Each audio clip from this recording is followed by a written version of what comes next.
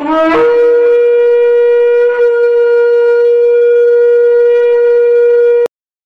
right, let's pray. Father, in Jesus' name, Lord, Lord, thank you for being with us today. Thank you for your spirit, Lord. Thank you for hearing our prayers, Lord. Thank you for healing those, Lord, that we lifted up today. The breads for the children, Lord. We thank you for it, Lord. We thank you for your love for us, Lord. You are Boaz. Father, you're our Savior, our Redeemer, our healer, our restorer. Father, our lover, the repairer of the breach, Lord.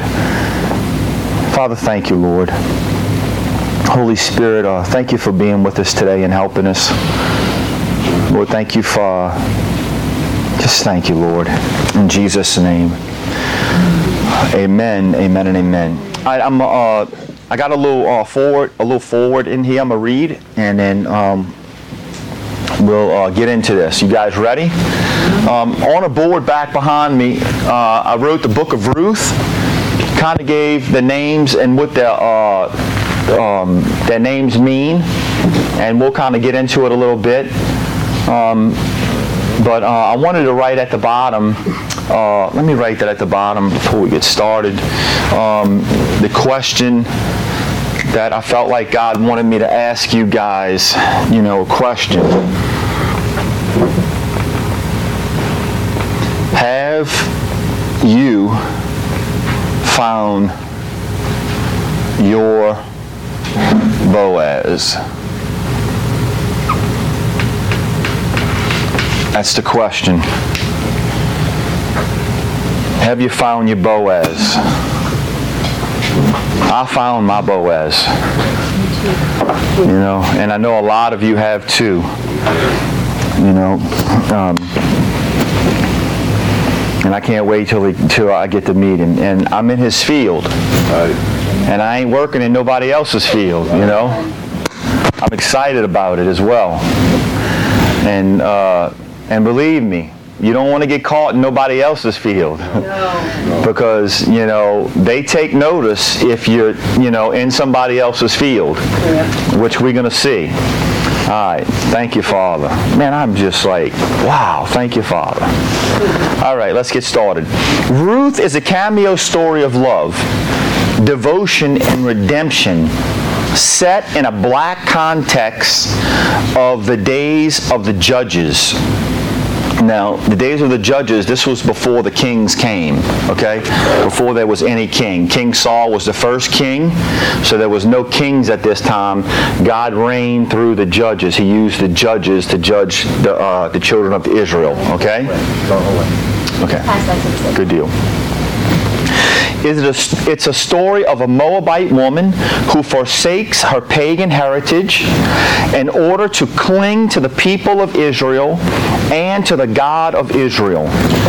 Because of her faithfulness in a time of national faithlessness, God rewards her by giving her a new husband, Boaz, and a son, Obed in a privileged position in the lineage of David and Christ. She is the great grandmother of David. So this time, I mean, just look at the setting that she's in right now. Um, because of her faithfulness in a time of national faithlessness, you know, man, is that not the time we're in right now? I mean, they just passed last Friday, I think it was, by executive order. They just passed, you know, they removed one nation under God. They removed the God out of it. Yeah, last week.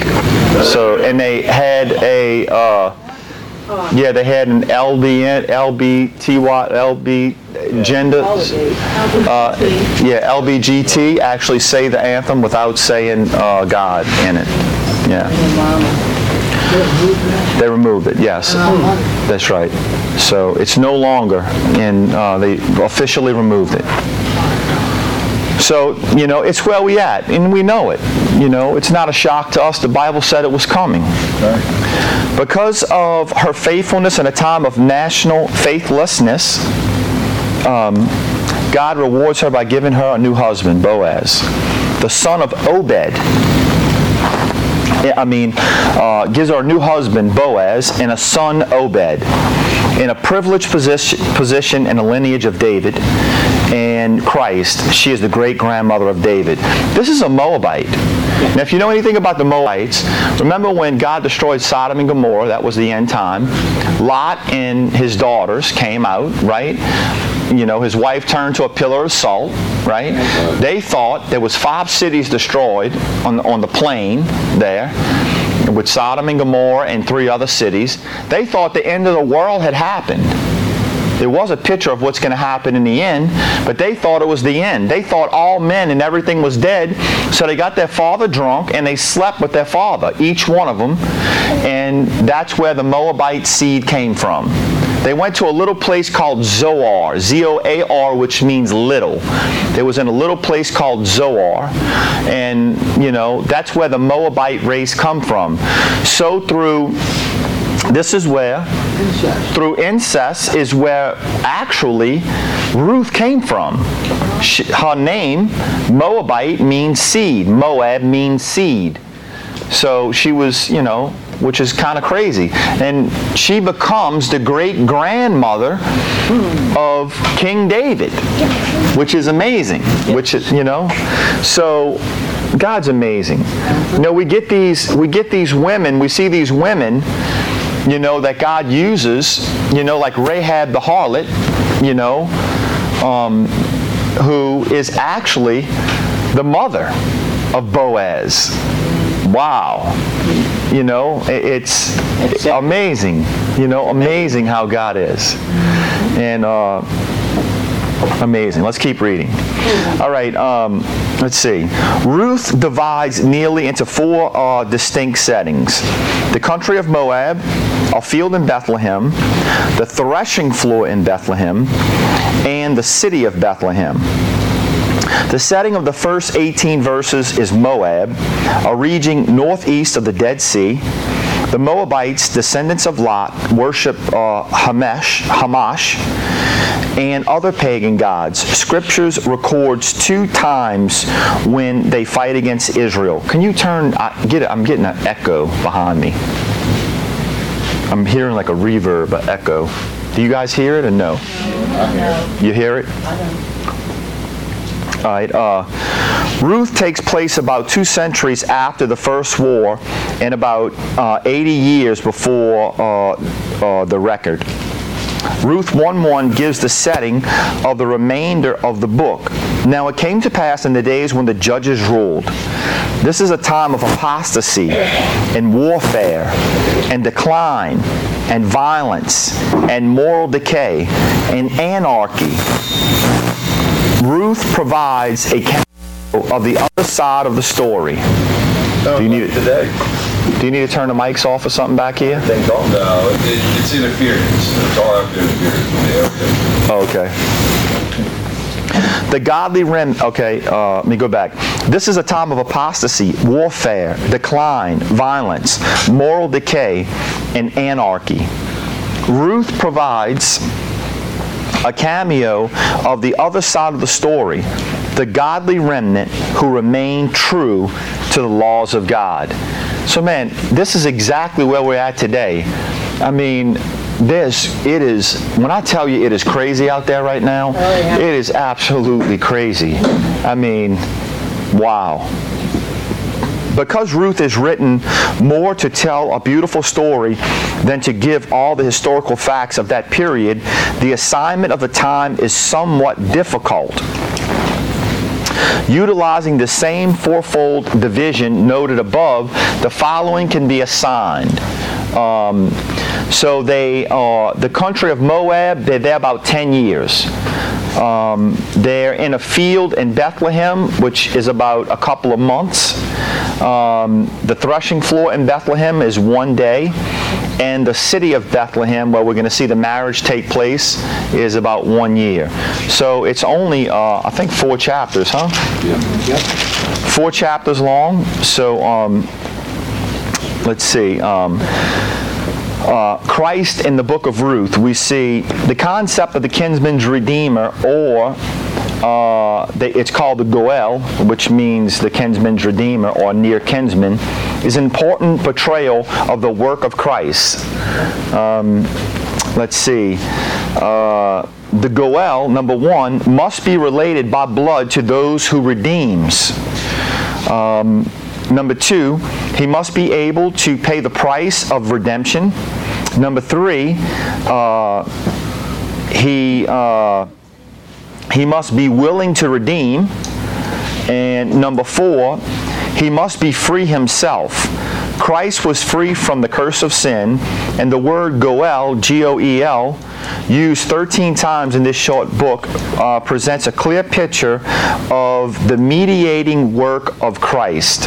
Um, the Hebrew word for kinsman is the word Goel. So Christ, we, we're going to run across this word Goel, it means kinsman. So that's basically, I'm, that's why I'm telling you, because you're going to run across it. Let's see. Um, uh, what else you really need to see in here? All right, um, some key verses in it is uh, Ruth 116 and uh, chapter 3, verse 11. It says, And Ruth said, Entreat me not to leave thee, or to return from following after thee. For whether thou goest, I will go, and where thou lodgest, I will lodge. Thy people shall be my people, and thy God my God. I mean, that is a lot of things in which, you know, happens with us today. You know, when we leave to serve Christ, our Boaz, you know, you're going to find you have to walk away from family. Oh, you have to, you know, because you're going to find family is going to reject you quick, fast, and in a hurry. Oh, yeah. You know, and you're going to battle. I mean, my wife just went through something, you know, a few days ago. You know, and I, I just heard another brother telling me a couple of days ago he was going through something with family, you know, and when you make a, a, a true stand Amen. for Jesus Christ, Yeah. um, you know, you need, you're going to find that you're going to go through these things. But and you have to have the mentality of Ruth. That's the mentality that, you know, I'll, I'm going to go where you go. Your people is going to be my people. You know, that means the people that are around you that, that are sitting down right here, you know, you're, you, you're my people. You know that? Yeah. In my immediate family that hasn't received Jesus Christ and don't want no part of him, well then, you know, I have to forsake them for you. Yeah. I love them, It's a shame. but you know, and when I say forsake them, you know, she forsook her culture, right. her people, and left Amen. their practices, the language, and everything that was going on for, you know, what was, you know, oh, you, oh, you mean you mean to tell me that you're gonna, you know, you're gonna pick up your, your stuff and, and move and go, you know, with these people over here? What about your family? What about your brothers and sisters? You're just gonna, I mean, that's what we would deal with right now. Amen. And that's what we do deal with right now. But what's more important to you? You know, them or us? And they'll cut, and, and let me tell you something. You're going to find out it's not you cutting them off, they're going to cut you off. That's right. That's it. Because you can still have a relationship with them and love them, but they're going to separate themselves from you. That's right. Yeah. you know? And then you're going to find that they strike out against you every time they're around you, Yes. Right. you know? Oh, And it's not you. You really, because they just, they can't see. You know? They don't Amen. know. They don't understand. But you have to remain in love. That's Yeah. right. You have to remain in love. And, you know, you're not forsaking them for others. You're forsaking them for Jesus Christ. That's right. You're leaving them, you know, for what Jesus Christ has called you to do, you know, and what He's called you to be, you know, and what do you mean you can't come to my party, Yeah. you know, or Amen. you know, I, I, I'm sorry, you know, there's things that if you are going to truly be a testimony for Jesus Christ, you know, you can't, you can't be in both fields. Right. You're going to see that in this book. You can't be in both fields. Because if you're working in both fields, man, the kinsman's redeemer ain't going to have no part of you. That's right. You know, I was talking to my mom about that yesterday. You know, let's keep going. You guys understand. You've all been there. Let's see. And, um, and now, my daughter, she says, Naomi says, Fear not, I will do to you to thee all that thou requirest. For all the city of my people doth know that thou art a virtuous woman. This is in chapter 3, verse 11. This is the kinsman's redeemer. When she, when Ruth came to, to Boaz on the threshing floor and, you know, went to his feet and asked that he would take his skirt, his, you know, and cover her with it. Listen to what he says to her. You know, he says, And now, my daughter, fear not. I will do to thee all that thou requirest. She wants to be married. She's looking for a covering. For all the city of my people doth know that thou art a virtuous woman. What does virtuous mean? Pure, pure, pure in heart. Is that what it means? What does what mean? Virtuous mean. Good morals? She was in right standing, I'm sure. I didn't I didn't look it up, but you know, it's something we can check out. Uh, another key chapter is Ruth chapter 4. In, uh, in 22 short verse, verses, Ruth moves from widowhood and poverty to marriage and wealth. In exercising the law regulating the redemption of property uh, and the law concerning a brother's duty to raise up seed, children, in the name of the deceased, Boaz brings a Moabite woman, woman into the family line of David and eventually of Jesus Christ. And uh, here is the survey of it. Ruth is a story of a virtuous woman who lives above the norm of her day. Although it was probably written during the time of David, the events take place during the time of the judges. This period in Israel's history was generally a desert of rebellion and immor- immorality. But this uh, story of Ruth stands in contrast as an oasis of integrity and righteousness. Ruth is a virtuous woman who shows loyal love to her mother in law Naomi and her near kinsman Boaz. In both relationships, goodness and love are clearly manifested. Her love is demonstrated in chapters 1 and 2 and rewarded in chapters 3 and 4. So while we read this, this Ruth is, you know, symbolically speaking, who we're supposed to be. We're to line our life up to Ruth, yes. It says a righteous, good, pure, saintly, angelic, moral, ethic, upright standing, high-minded principles, um, exemplary. That's it. So that's pretty, you know. So that's what God has called us to be. Right. Righteous, virtuous, holy, you know, high-minded, moral, moral, just. That's what God has called us to be. That's what, you know, he he actually makes us into, Right. you know, through his spirit. It says uh, Ruth's love is demonstrated in chapters 1 and 2 The story begins with a famine in Israel, a sign of disobedience and apostasy. Now, man, I can kick some stuff in right there in a big way.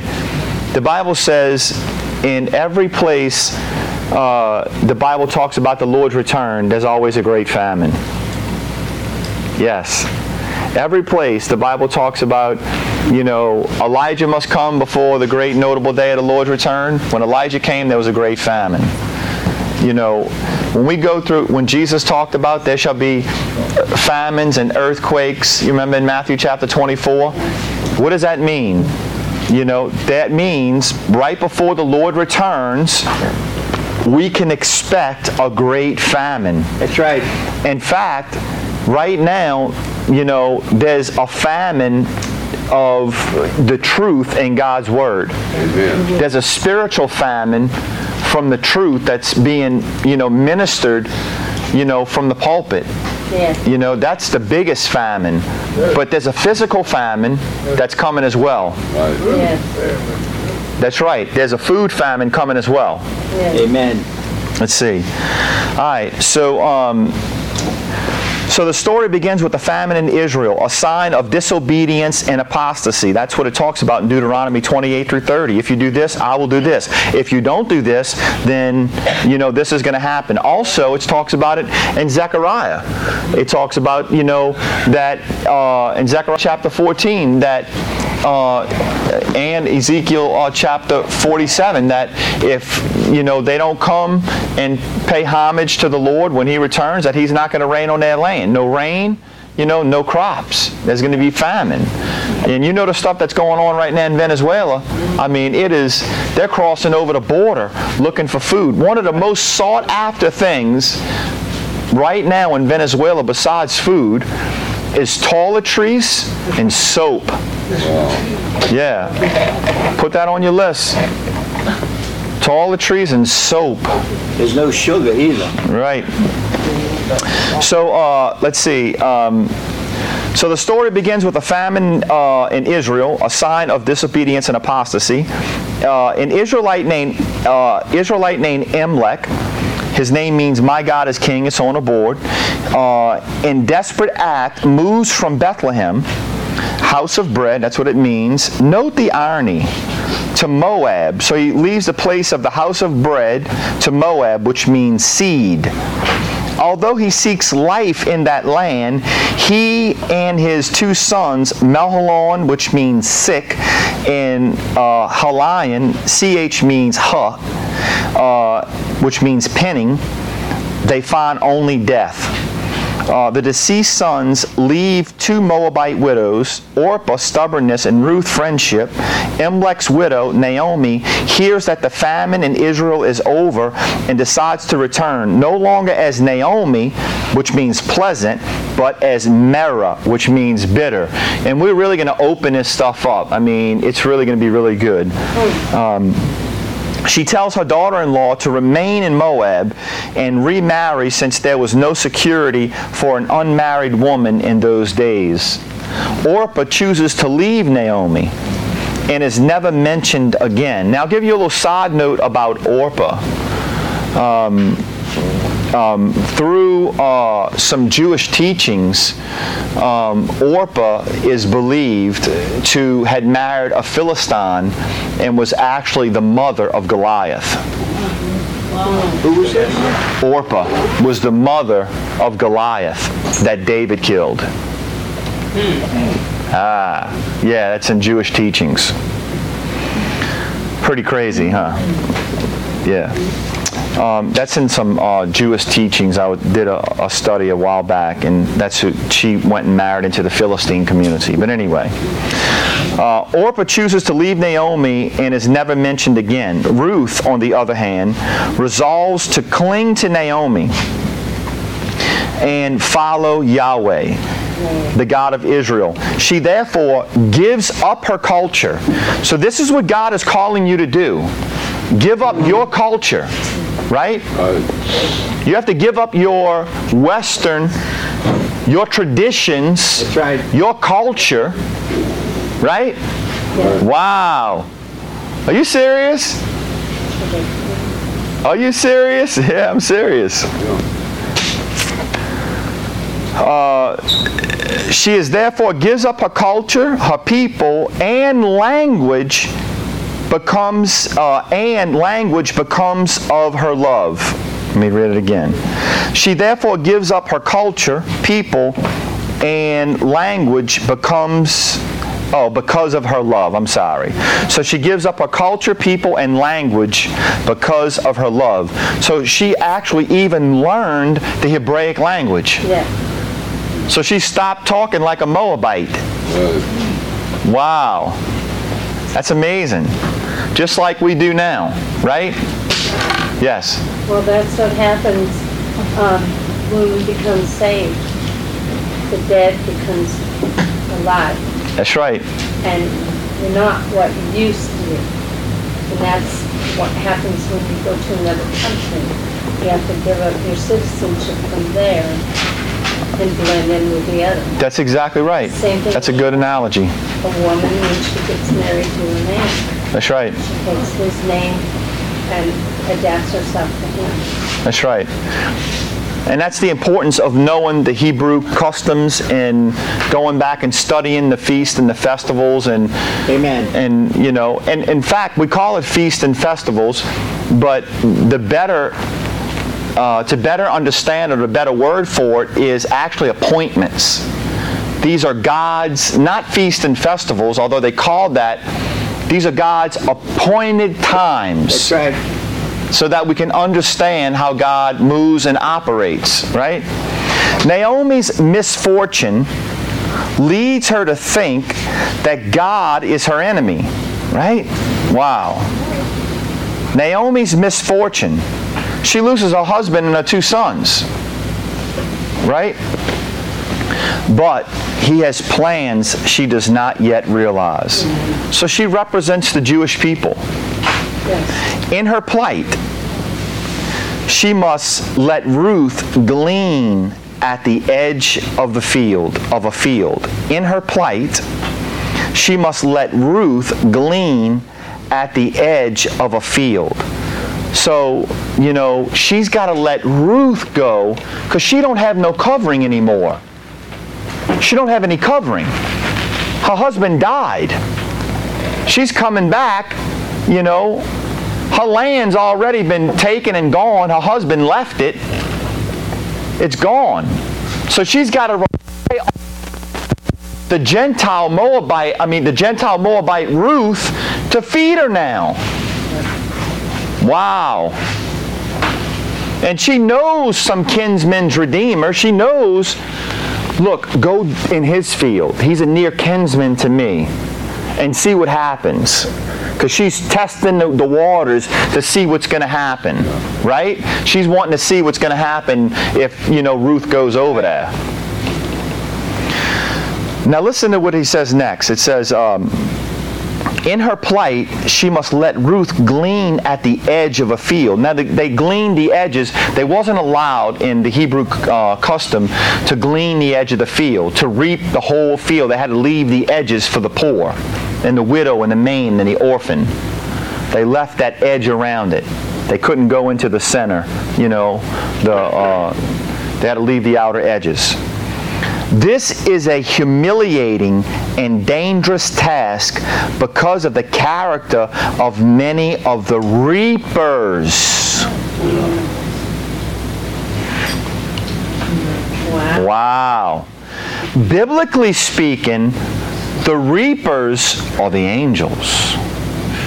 Wow. With Jesus, the reapers are the angels. You don't mess with the angels.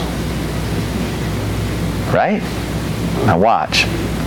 However, God's providential care brings her to the field of Boaz, Naomi's kinsman. Boaz means in him is strength. Have you found your Boaz? I found my strength. I found him. It says, uh, this is uh, the process where uh, love begins, protection, and he begins to provide for her. So when we come to Christ, this is where our the you know this is the process where our love begins and god you know begin his protection and he begins to provide for you and me boaz uh, uh, ruth's love is rewarded in chapters 3 and 4 and this is the last little bit and we're going to probably read the first chapter what time is it Okay. Boaz takes no further steps toward marriage. He takes no further steps toward marriage.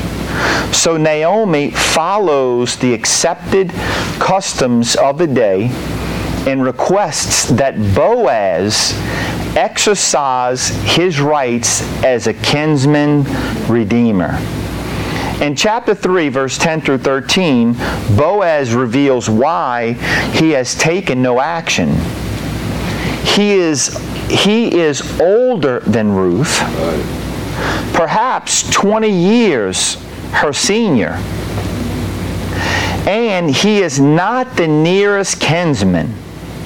Nevertheless, God rewards Ruth's devotion by giving her Boaz as a husband and by providing her with a son, Obed, the grandfather of David.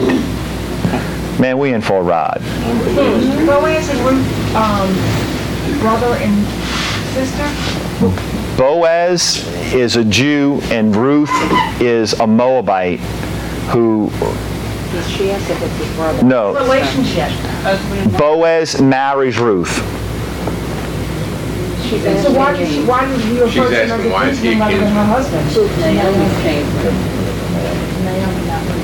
Boaz was related to Naomi. Naomi. Okay, okay. Yeah. So what was their relation? It was related to the, By marriage. A only relationship distant by marriage. relative. Okay, li- okay, listen, I'm gonna explain it to you. Was I'm married gonna- to Naomi. Listen, I'm gonna explain it to you. Hold on, just listen. Elimelech and Boaz, remember Naomi's husband Elimelech. Right. Elimelech and Boaz were near kinsmen, were like cousins. Okay. Okay?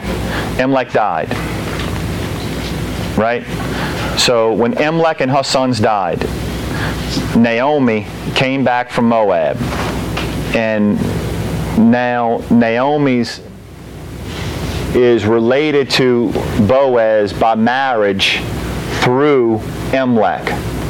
Right. It's it, so you know Boaz, but there is a nearer kinsman to Naomi than Boaz. There's another man that's closer to relationship, like a first cousin to Elimelech, which is Naomi's husband.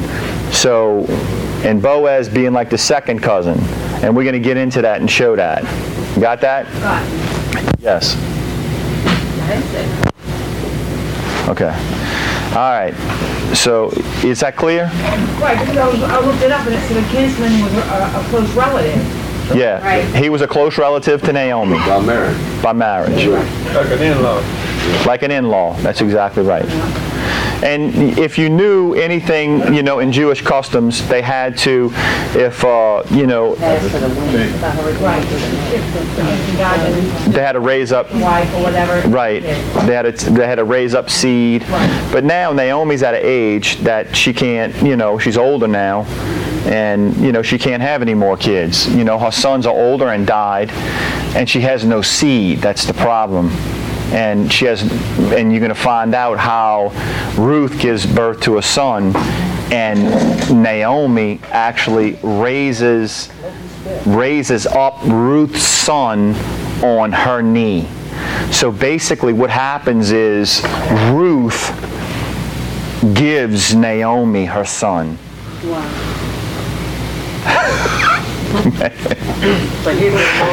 Because you see, a woman back then, that was the whole thing. She wanted to be married and she wanted to have a son. Most important thing. She lost her husband and she lost her sons. Y'all with me? Are y'all with me on that? Does anybody, am I missing something?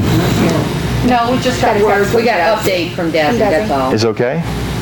Um, Go ahead. he told out his, let's say, Lil Desi text last night with Rock.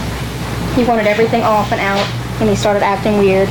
Um, he pulled out his PIC one, his IV, and um, they did a repeat CT, and he has more fluid. The ventricles are larger in the brain, in the brain, so there's more fluid. So they're gonna keep monitoring him might for any nausea. Or, yeah, they may have to put in the um, Keep him the lifted shot up. for the drain.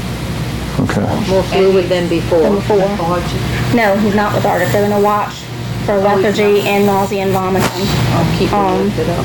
He did eat. He said they ate about that he ate five pe- um, five mouths of grits and one piece of bacon and said it was disgusting. Um, but he's resting right now, so hopefully he doesn't throw up his food. And- Okay. I'm glad we prayed and we claimed his life for Jesus Christ. So, so, uh, But that she missed a call from Tina, so that's what we were trying to do. okay, that's no problem. Sorry. Let's get, let's read this one. I want to read this one chapter to you guys and we're going to have the next three. All right. So, uh, any questions you got, um, uh, save them for next week um, because I really got some stuff I got to do.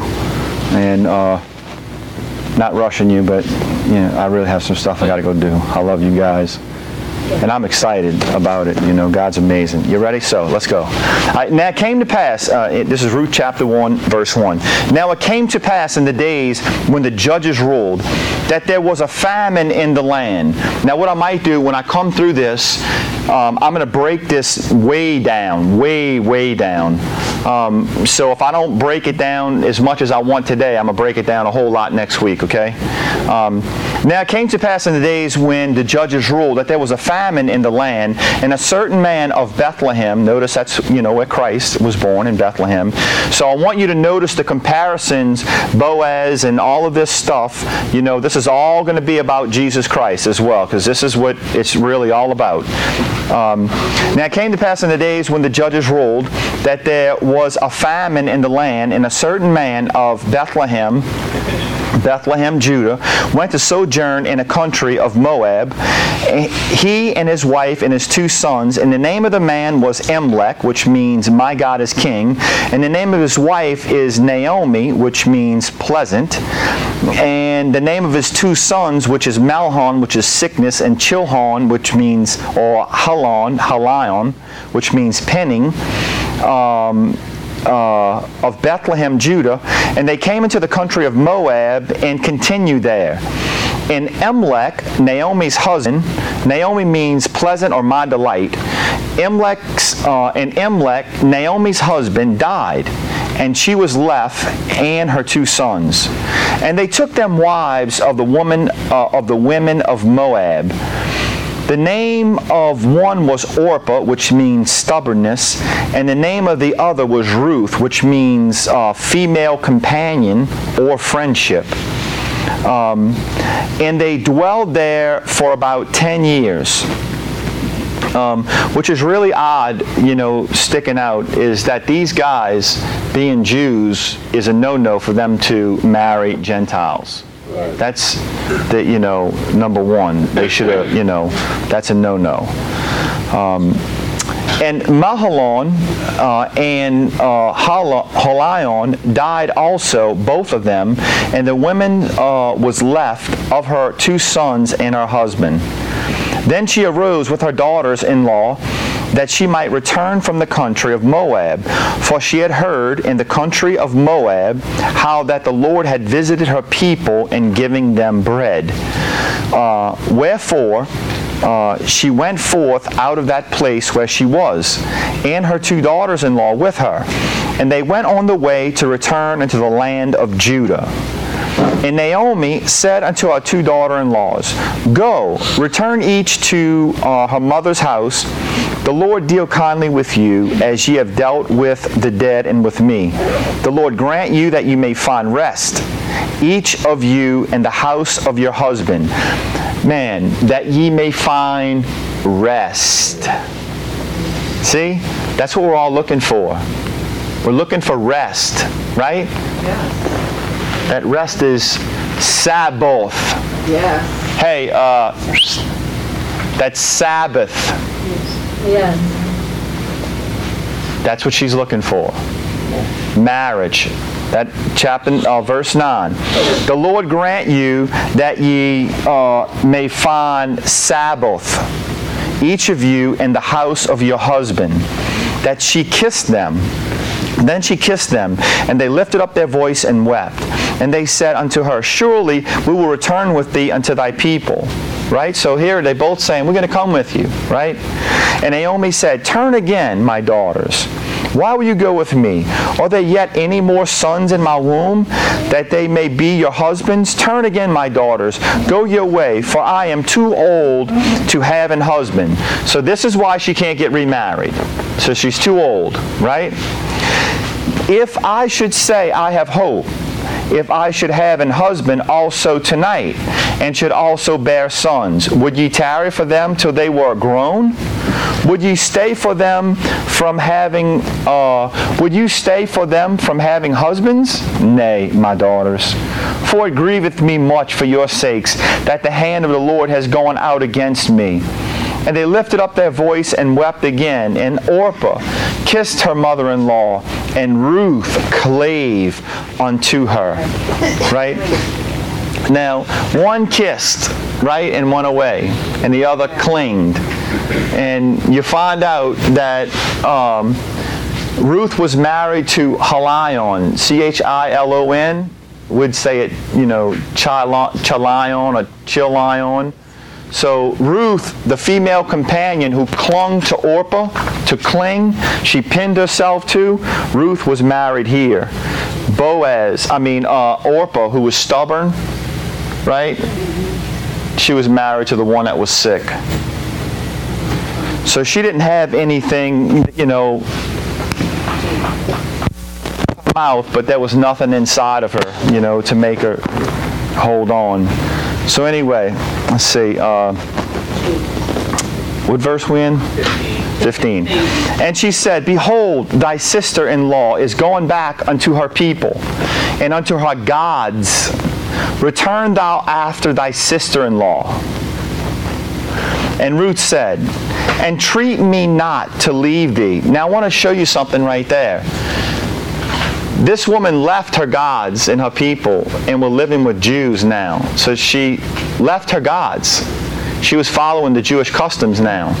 She left the Jewish customs and Yahweh and went back to her false gods. Right.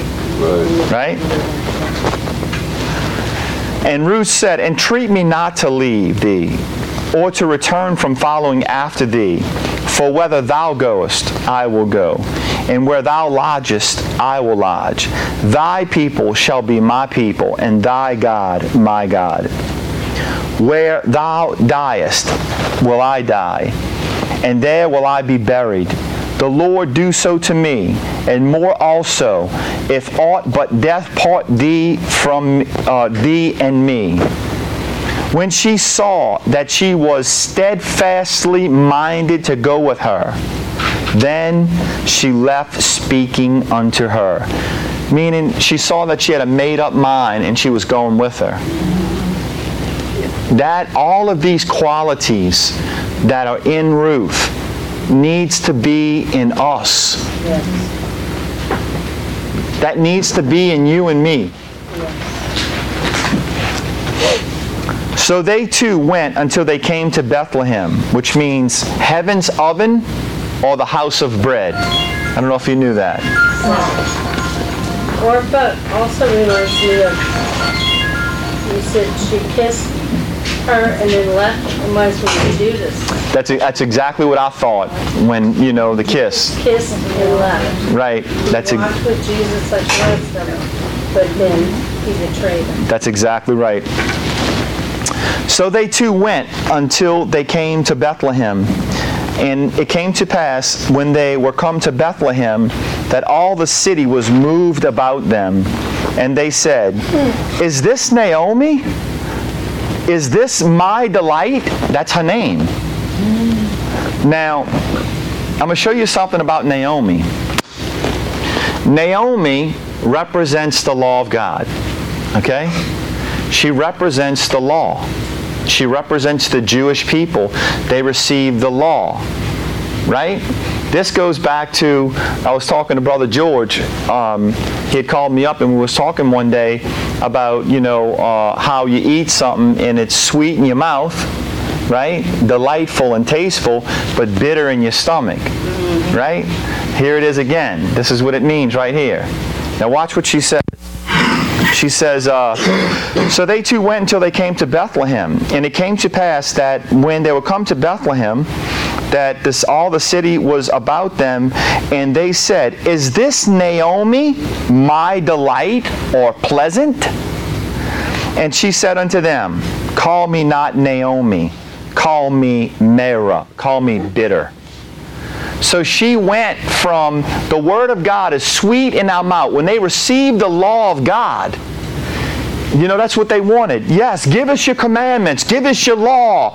And when the law came forth, they was excited, they was happy, they was, oh, it's, oh yes, mm, mm, they, it was so good.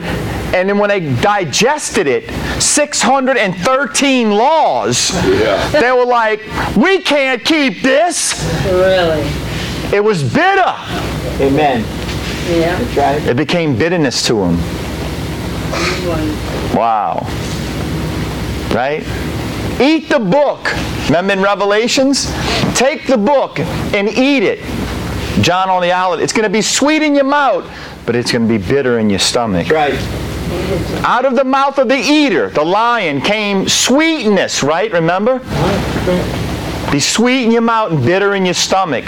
Because no one in the flesh can keep the law. That's what's bitter about it. The Word of God is good. It's and it's holy. And it's precious. Amen. But in the flesh, we can't keep it. Only one man could. So, and she said unto them, Call me not Naomi, call me Mara, for the Almighty hath, has dealt very bitterly with me. I went out full, and the Lord hath brought me home again empty. Why then call ye me Naomi, pleasant, seeing the Lord hath testified against me, and the Almighty has afflicted me? Now, why? Why, you know, man, if you go back to the very beginning, you're going to find out that they're serving false gods. You're going to saw, you're going to find out that the land they had departed from God. Yeah, That's why all of these things had come upon them, that's why they died. right? So Naomi returned, and Ruth the Moabitess, her daughter-in-law, with her, which returned out of the country of Moab, and they came to Bethlehem. Watch this, very important. In the beginning of the barley harvest. Amen. So now, if you guys don't get this right, I'm gonna kick you in your butts. I mean it, because you've been with me a long time. When is the beginning of the barley harvest?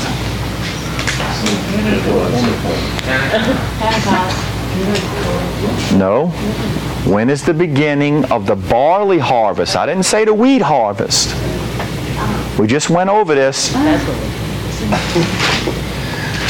When did Jesus rise from the dead? Passover, Passover, yeah. No, he didn't. The feast of first fruits. He was the feast, he was the resurrection, right? On the 17th day, the feast of first fruits began. That was the, the 17th day of Nisan, was the first day of the counting of the Omer, 49 days, the barley harvest. For 49 days, they were reaping, gathering in the barley harvest. Naomi had heard there was food in Bethlehem. They get there when they're reaping in the harvest, the barley harvest. Very important. You're going to see why it's important to know these things, to know their customs, and what's happening because it's all going to tie into the marriage and what's happening and what's going on and we'll get into more stuff later next Saturday, we'll get into chapter 2 and, uh, and really get into some good stuff. Let's pray. Father, in Jesus' name, Lord, thank you for your word, Lord. Lord, thank you for your presence. Lord, thank you for just being with us today. Lord, for coming and just encouraging us, Lord, and and uh, just showing up, Father. Lord, I ask that you, Lord, just be with everybody today. Lord, encourage them, strengthen them, Lord, as they go forth, Lord. In Jesus' name, Lord. Amen, amen, and amen.